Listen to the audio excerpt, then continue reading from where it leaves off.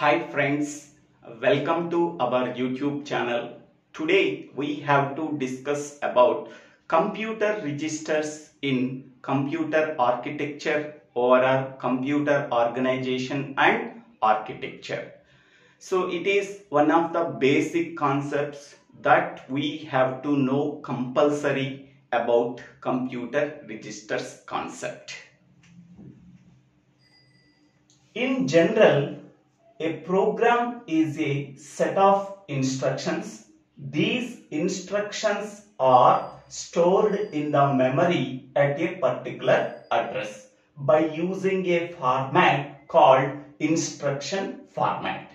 This is the instruction format we have to use for storing the instructions in memory. This is a 16-bit instruction format so 0 to 15. This instruction format can be divided into three parts. The first part is called as address part. Second part is called as opcode part. Third part is called as mode part. Okay. First one is opcode part. Opcode part specifies what is the operation to be performed. Okay. To perform the operation specified in the opcode part, we require operands. These operands are stored in the memory or registers at a particular address. These addresses are specified in the address part of the instruction. The address part of the instruction contains 12 bits 0 to 11. Okay.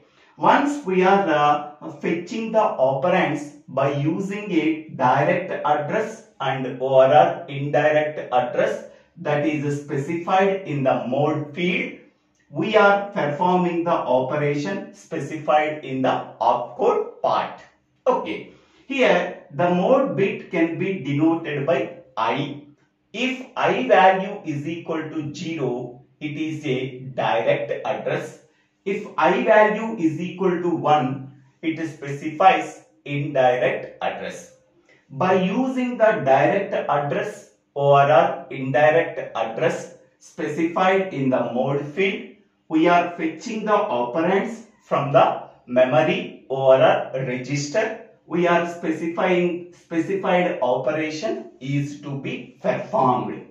The opcode field contains 3 bits 12 to 14. Okay. The mode field contains only one bit that is either 0 or 1. If it is 0, it is a direct address. If it, if it is this bit is equal to 1, it is a indirect address. Based on the direct or indirect address, we are fetching the operands from the memory or a register. Then we are performing the operation specified in the opcode field of the instruction. Next one is uh, in addition to the computer memory, there are eight registers are used for processing the data that are stored in the memory. So this is the memory unit and these are the eight general purpose registers. Okay. The memory unit has a capacity of 4096 into 16. That means the memory unit contains 4096 words. Each word contains how many number of bits? That is 16 bits. Okay, so this is the capacity of the memory unit.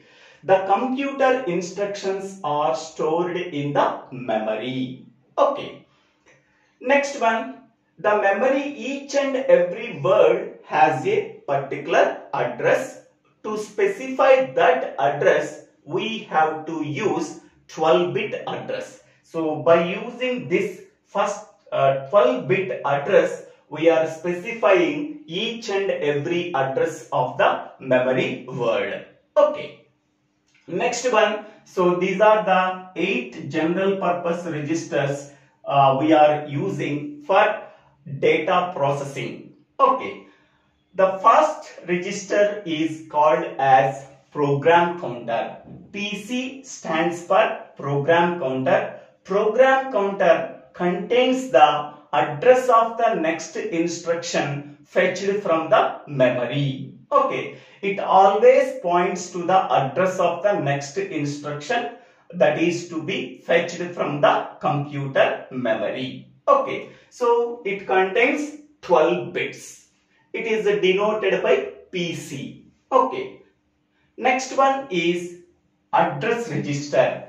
It is denoted by AR. It contains 12 bits. So the address register contains the address of the instruction that are stored in the memory. Next address, next register is data register. So it can be denoted by DR. It contains 16 bits. Data register holds the operand that are read from the memory. To perform the operation, we require operands. These operands are stored in the memory. Okay. So the data register holds the operands that are read from the memory to perform the operation. Okay, so these operands are stored in the memory in the date operand data part of the memory unit. So the length of the operand is 16 bits so that the data register contains 16 bits. Next one is IR that is instruction register so it can be denoted by IR. So it contains 16 bit. The instruction register holds the currently executing instruction that are read from the memory. Next one is a temporary register. It is denoted by TR. It contains 16 bits. The temporary register is used for holding the temporary data during processing.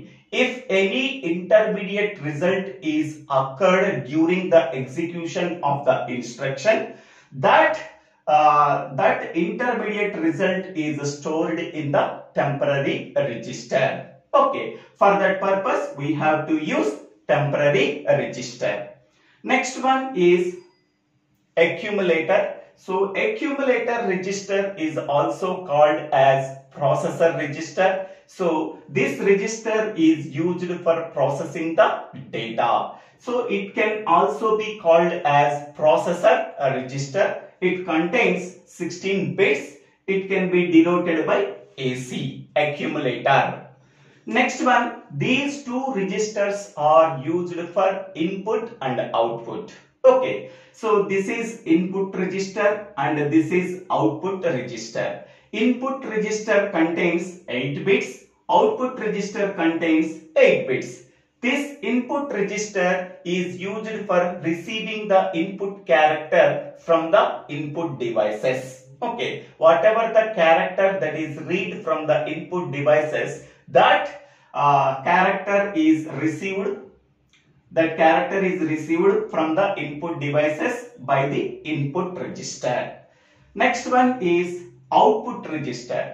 This output register this output register holds the character read from the output devices. Okay, so whatever the uh, character that is received by the output devices, okay, to hold that character we are using a register called as output registers. Okay, these two registers are used for input and output. So both are containing 8 bits. Okay, this register is called as a processor register. It is used for processing the data. During the processing of data, any any operand is required, sometimes the operands are stored in the accumulator. It contains uh, 16 bits that is 0 to 15. So hence it can be called as a processor register. Okay, during the execution of the instruction, Okay, sometimes the operand is stored in the accumulator. Sometimes if any intermediate result is also occurred, that result is also stored in the accumulator. After performing the operation, whatever the result we are getting, that result is also stored in the accumulator. Okay, next one is temporary register this register is used for storing the temporary data. Okay, we are storing the data temporarily. For that purpose, we are using temporary register. It contains 16 bits. Next one is instruction register. This register is used for holding the instruction that is to be currently executed. It contains 16 bits. Next one is data register. So this register is used for holding the operand that is read from the memory. It contains 16 bits. It can be denoted by DR. Next one is address register. This register is used for storing the address of the instruction that are read from the memory. It contains 12 bits. So here this is the address of the operand and address of the instruction is also 12 bits. Okay, the program counter is one of the important uh, register that resides in the CPU so program counter always contains the address of the next instruction that is to be fetched from the memory. Instructions are executed in a sequential manner. So at that time PC always points to the address of the next instruction that is to be fetched from the memory. So these 8 registers are CPU registers. So these registers are resides within the CPU. Okay. So register accessing is much more faster than main memory accessing because all the registers are resides within the CPU. The distance between the registers and the distance between the registers and ALU is very less the time taken to transfer the data from the register to ALU is very less when compared to accessing the data from the memory. So that register accessing is much more faster than main memory accessing. So registers are temporary storage devices. So these are made up of flip-flops. These flip-flops are interconnected uh, so that we are storing only uh, so that we are storing the information within the register. A flip-flop is a uh, temporary storage device that is used for storing only one bit of information. So registers are made up of flip-flops. Okay, suppose 8-bit register is there, 8 flip-flops are interconnected each and every flip-flop can store only one bit of information. So 8-bit register is nothing but 8 flip-flops are interconnected so that uh, each flip-flop can store only one bit of information so that 8 flip-flops 8 bits uh, 8 bits have to be stored in 8 bit register. Suppose it is a 16 bit register, it can hold uh, 16 bits information. So for storing each and every bit, we have to use one flip-flop. So 16 flip-flops are interconnected. So then we, we have to make a 16 bit register. It can store 16 bit.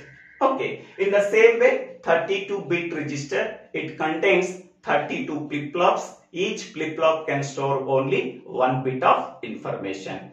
So 32 bit register is nothing but 32 flip-flops are there. Each flip-flop can store one bit of information. So this is the uh, description about the computer registers whatever I am discussing here, so that can be represented within a table. So this table is list of registers for basic computer. So if any computer we are taken, okay, so that computer contains these eight registers. Okay, these eight registers can be represented in a graphical manner and this is the memory unit.